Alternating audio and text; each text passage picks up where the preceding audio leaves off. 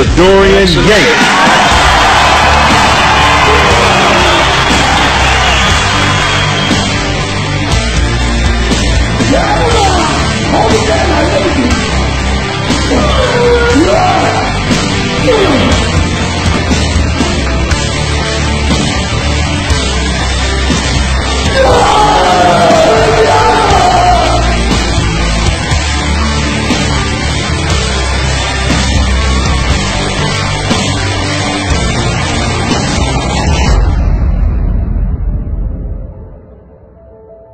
I look back and I got a tremendous respect for this young guy, you know, because all the odds were stacked against.